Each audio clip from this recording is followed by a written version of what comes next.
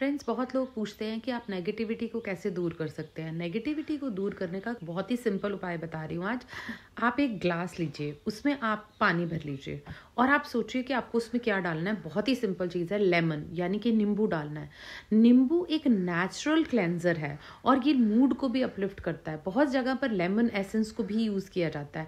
अब आप इस पानी के ग्लास में नींबू डिप कर दीजिए। अगर आपके आसपास बहुत नेगेटिविटी होगी या नेगेटिव एनर्जी होगी या कोई ईवेल आई होगी या कोई भी बैड इन्फ्लुएंस होगा तो वो नींबू एकदम सिंक कर जाएगा पानी में।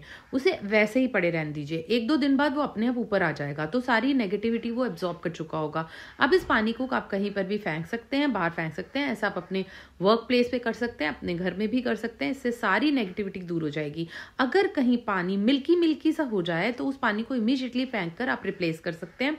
वरना आप एक हफ़्ते तक भी इसे पड़ा रहने दे सकते हैं, उससे ज़्यादा नहीं। और ऐसा आपको सैटरडे को स्टार्ट करना